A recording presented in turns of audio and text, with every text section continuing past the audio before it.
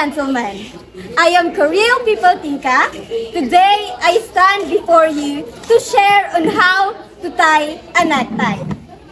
A skill that holds immense importance to the special event, formal occasions, professional setting, whether it is a job interview, a meeting, or a business meeting, in school, and in a community.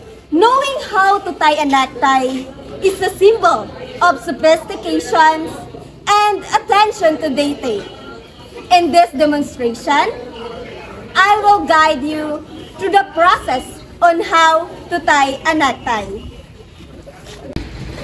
And now, I have here a guest in order for me to demonstrate on how to tie a necktie. First, you must prepare the materials needed. A necktie of your choice, this one. Of course, patience and practice. Step one is preparation. So you must place the tie around the neck. One.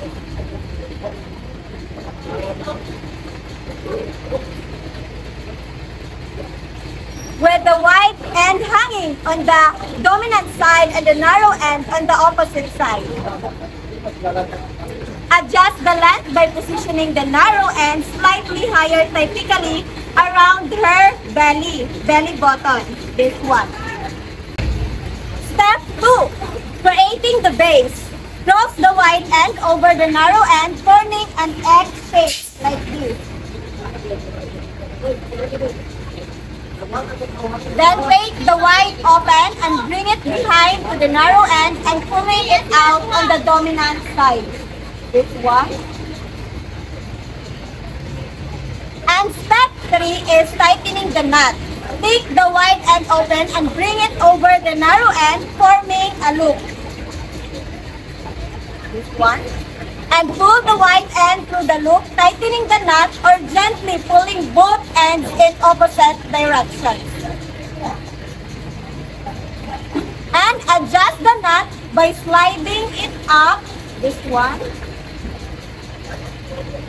or sliding it down to your desired position. And now, there we have it. You look so sophisticated. So, you have now mastered on how to tie a necktie. Remember, practice makes perfect. So don't be discouraged if it takes a few attempts to get it right. With time and practice, you will become a pro. Now go forth with confidence and knowing that you possess the skills to make a lasting impression in any formal or professional setting. Thank you for your time and hope you learn from this video.